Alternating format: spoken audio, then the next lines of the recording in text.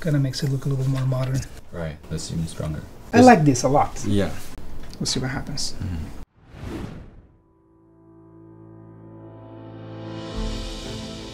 I'm an art advisor and a producer. We have been invited to have a special trip. We are going to have a sightseeing in different locations where pandas live. 这些采风的灵感将会融入到我们的设计中。 We will design a new panda image to let the world know about the innovative and changing China. 中国的环境保护、文创产业、科技、农业以及中国年轻一代的世界观都在创新变革。我相信从中一定能收获灵感。我们为中国大熊猫设计的形象也会充满创意。 and will represent the aspect of creative China. My name is Vahid. 我是高颖。我是车世龙。 我是王文义。 My name is Wang Tianshi. My name is Angelina. My name is Alan Skolaski. 我叫徐君如。 With the rapid development of China, the young generation are gradually turning from the followers into innovators. The new image of the giant panda is bound to embody the character of youth. The final station of our designers will go deep into the life of youth and feel the vigour and vitality of China. Since ancient times, Sichuan has been reputed as the land of abundance. The advantaged environment enables young people to pursue a higher quality of lifestyle. The ubiquitous panda and bamboo elements in city remind designers of the connection between youth and pandas. We first opened in 2006, but it's a traditional way of uh, operation of a bookstore. But as the time changed, we see there's a market and a trend for the cultural demand that not only for book, but actually a lifestyle. So this is what we become. I see. It's this uh, round glass bamboo atrium that is not only a bookshelf, but a Chinese traditional tea set and vessel. And you can see there's a bamboo inside that simplify the Asian China as, and also the character of Sichuan. Uh, yeah, we even have some uh, music live and some saloon and some teaching course like the cooking and uh, a handmade course Very for, different. for, Mm. for many Even people. for different Yes. workshops. Yes, very diverse. You said that you have some stages for live music. Yes, Very good. Yes, this is a multifunctional area. Not only surrounded by bookshelf, as you have noticed that behind that is our cafe area, mm. and that space, oh, you will not expect that a hair salon in the bookstore. And further around is for the children.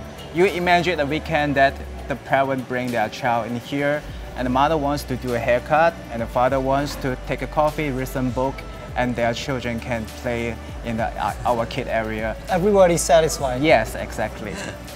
You can have your thought inspired, Yes. fostered, your hair trimmed, Yes. and your stomach filled. Yes, exactly. 其实我们大家都可以看到，现在我们对于书店的要求和期望，已经不仅仅是知识了，而是我们对于未来一种生活方式的探求、消费。除了知识之外，他们可以在这里实现到对于生活的一个追求。 书店其实代表了一个城市的文化气息，它扩大了它的那个受众范围，把书店和很多现代的东西结合在一起，这个是嗯、呃挺不错的一种生活方式和个人体验。 Well, it shows that it's it's a multilateral growth which is happening in China. It's covering different fields at the same time: technological, scientific, agricultural, even some zoologists. The most important part to me, media,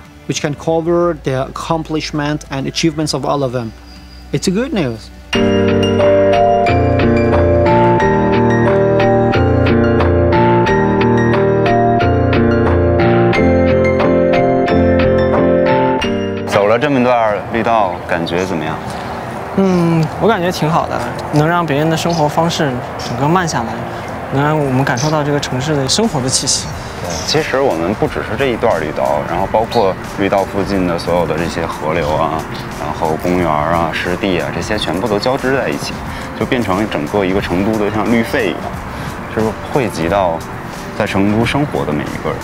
我觉得变化还是挺大的，因为中国发展的太快了，就整个的跨时代的发展，包括科技的发展，包括人们生活物质上的发展，这些发展其实带动了这个民族精气神上的一个变化。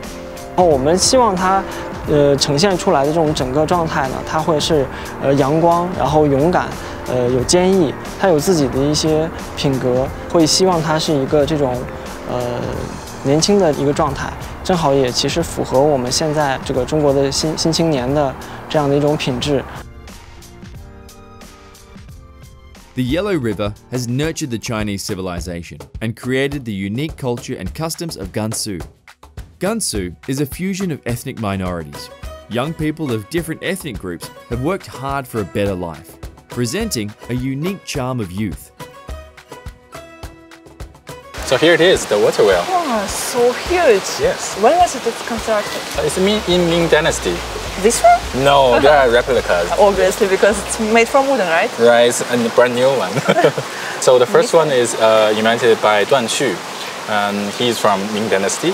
And in south of China, they use a lot of uh, water wheels there. He bring the, uh, this technology back to Gansu. And then he built one of the water wheel here. After that, the farmer here, they built hundreds of this water wheel to help them draw the water from the Yellow River to irrigate their farmland. But nowadays we almost can't see this kind of Yeah, water the- wheels. yeah, you can only see this in this park. Yeah. And they use something more technology to draw the water.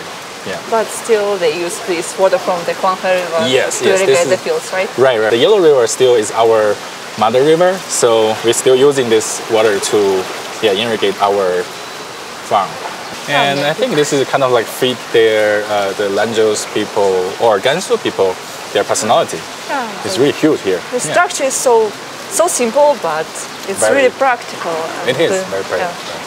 Actually, it's not the first time I saw water wheels, but I've never saw this kind of huge when water is falling down from these water wheels.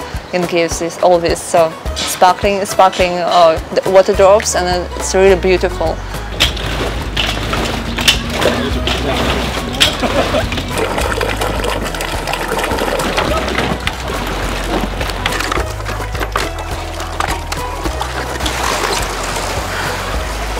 Russian girl. I'm designing a character representing myself, representing most of the newer generation of Chinese people. It has to be uh, following the time, develop as well. So our panda design have the original taste at the same time also have this kind of like modernized or high-tech feeling mixed into this character.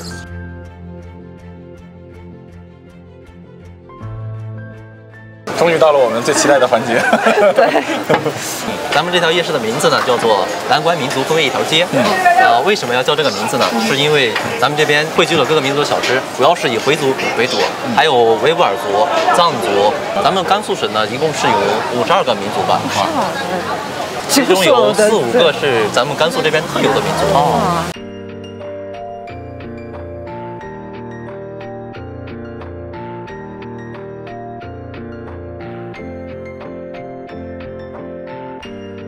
不要喝几杯子啊！几杯子。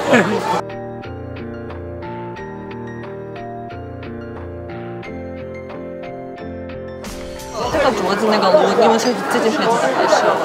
您看到的所有东西，除了这缸子，缸子是呃这定做的，然后其他的东西都是咱们自己设计的。啊，对，包括咱们的底料，嗯，包括咱们的料碗，嗯，然后都是根据我们西北人的口味、兰州人的口味去把它调制出来的。那李老板，像这条街上，像您这样的创业者多吗？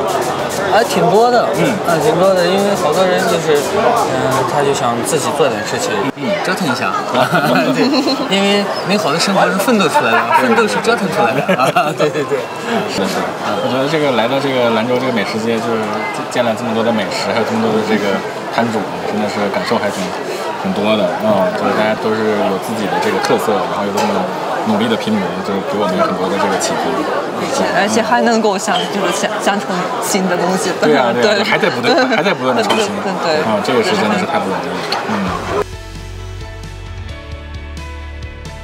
Shaanxi's rich historical sites are constantly being discovered and studied. The young people here stand at the crossroads of history and become the inheritors of traditional culture. These cultures are constantly revitalized through their persistence and innovation. 呃，我们现在呢带你俩来的就是最著名的西安的一个地标性建筑大雁塔了。嗯，大雁塔是当时唐僧翻译经典佛经的地方，所以我们看前面就有一个唐僧去取经的一个造型。同样呢，我们还看到了除了历史的遗迹之外呢，再往远处看到的就是我们的大悦城。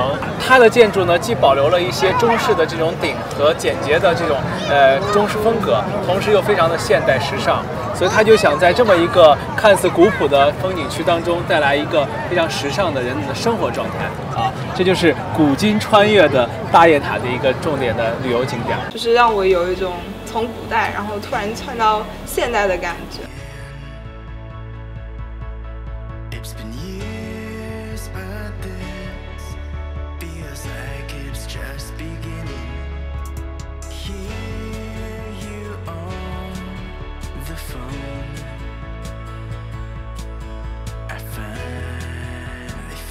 刚才提到了这块的雕塑有很多唐朝的名人，我们看最有代表性的李白大诗人都知道吧？所以唐朝来讲呢，诗歌也是它的一个特别大的文艺的象征，就跟我们现在人唱流行歌曲一样。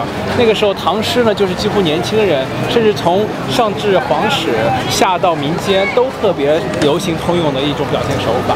所以这一块呢，就保留了很多唐朝诗人以及他做做的作品的一个形象。这条街呢，其实目的就是想用这种传统的。唐朝文化带出来一条这样的步行街，而且又加进去了很多唐朝的一些这种呃古今结合的内容。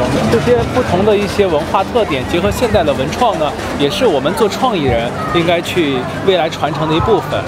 所以这里来讲的话呢，它既是一个地区的一个标志，也是中国文化的一个浓缩。中国的历史文化就在我们身边，遍及各个角落一样的感觉。不夜城就已经把大唐这两个字宣扬得很好了，因为在里面我们可以看到非常多唐朝有关的历史文化，不仅仅有这些传统的东西，它还它还遍及了和唐这个字有关的商户，音乐厅还有什么剧院啊都在那里，然后也能吸引到很多年轻人去观赏游玩，就有一点像融入到历史中的感觉。It kind of also utilizes new technology in these beautiful lights that are in the trees, where those lights used to be lit by fires. Now they're lit by electricity. So it's fun to experience these kind of new wonders that uh, the world has for us to offer and that public square is kind of a place in which uh, the public can interact in large groups and to be together with each other. The designers have travelled all the way from where the pandas live and experienced the innovative changes in China. In their minds, the face of creative China has taken shape. While the design is still continuing, let's wait and see how they design the iconic and creative international images of pandas.